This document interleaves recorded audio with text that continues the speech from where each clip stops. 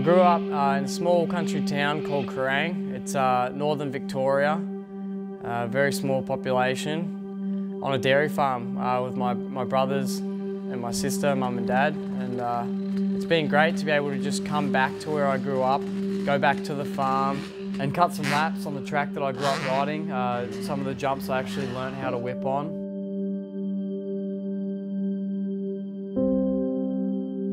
Going back to Murrabit Primary where I grew up, going to school, it was really nice. Uh, it's something you know I haven't really done a lot of, going and talking to the kids, uh, the new you know the new era of kids that maybe don't have a, a career path yet or, or, a choice where they want to go, and it, it is unique to be able to speak to them. Um, it's one of those things I've never really done any kind of you know motivational stand-up talks at all, and how many years I've been doing this for, it was crazy to be actually, for the first time, to go back to the school that I first went to and actually stand up in front of the class like guys did back in the day, like football players would come by and things like that, which, you know, football and all these sports, they're all team sports. And to be able to come back as a, as a motocross rider and talk to these kids about an individual sport uh, is awesome. Like, I couldn't imagine, you know, in my day,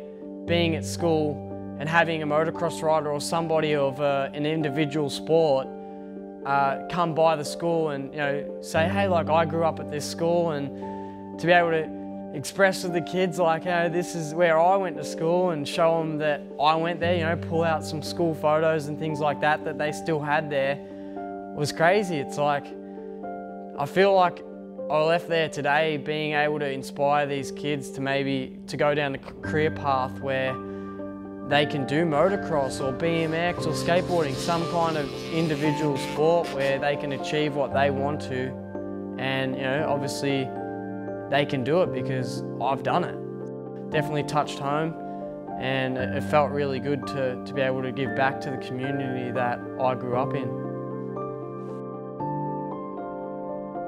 It's been great to go out to the McDonald farm, uh, hang out with Sam McDonald for a couple of times and you know, he's pushed up a, a, big set of jumps out in his old quarry that we went there as kids. Like I remember going there in year three at school. We came out after school one time and we rode our bikes out to this massive big sand pit and it's funny now coming back years later and Sam's still riding dirt bikes. You know, he's about to head off to China to do some shows and to have Edgar Torronteras, who's a legend in the sport, uh, him come out, do some riding with me through the week, uh, right before we head off for Nitro Circus. It's cool, you know, it's, it's something that you would always dream of as a kid and now like those dreams are actually becoming a reality. It's amazing.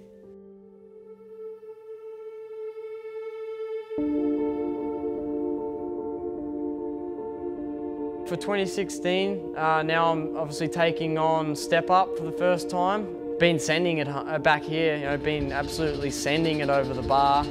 Uh, I feel that if I can, if I can do what I need to do, and I can get, you know, the right traction and the, the right body posture to, to get over that bar, and really hope that things pay off with the time I've been spending on the bike between Wyvern and Rigo's farm. Along with competing in Step Up, uh, I'm really looking forward to going back uh, to Best Whip this year and defending my gold medal from last year. Uh, there's going to be some tough competition, but hopefully I can bring home a gold.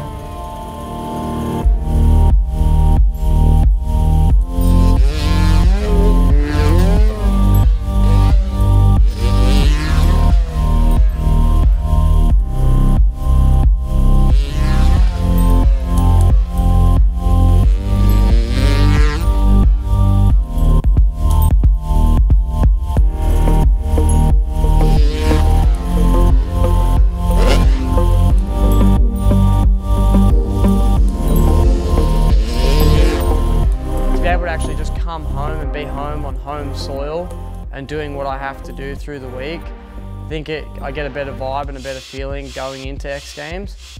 It just motivates me to do well and makes me proud to be an Australian and to be able to come home and practice here leading into X Games, I, I couldn't ask for any better way.